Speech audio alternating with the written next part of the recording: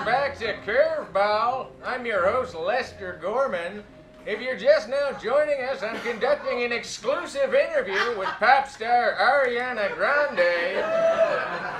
Hi, I'm Ariana Grande. Well, I hope you brought your catcher's mitt, because this is Curveball. Ariana, you've been under a lot of fire because rumors have come out. You've spoken negatively about your fans. You've contaminated food. You even said that you hate Americans. Now, there's one question being asked at every dinner table Does Ariana Grande hate her countrymen? No, I came on your show to set the record straight. I love Americans. Look, I'm an American and I love myself, so logically speaking, I love Americans.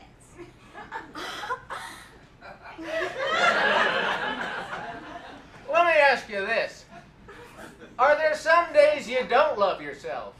Oh, well, I'm just a little girl, so I guess some days.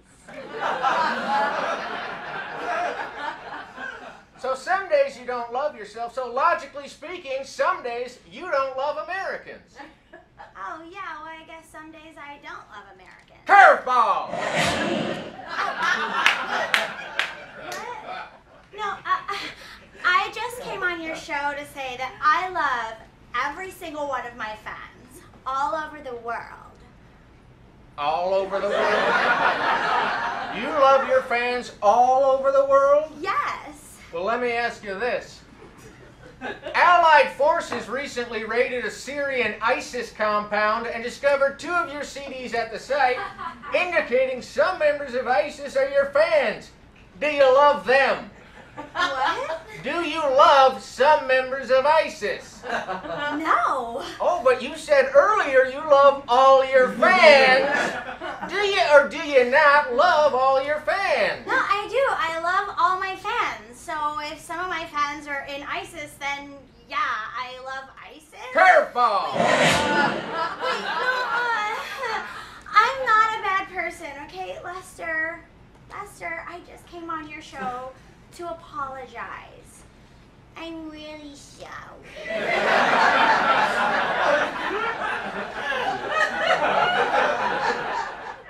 Well, there you have it.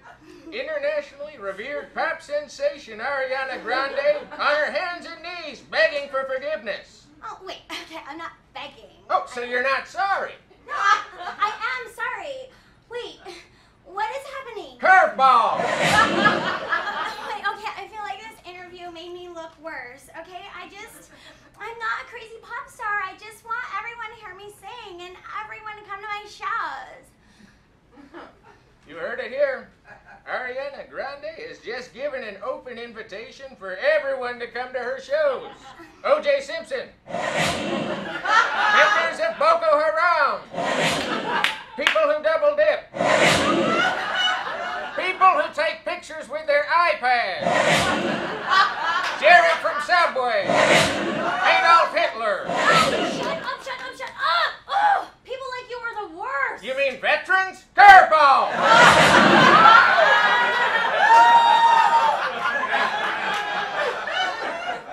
I don't mean veterans. I mean people like you who just sit in their chairs all day. Oh, like the disabled. Curveball!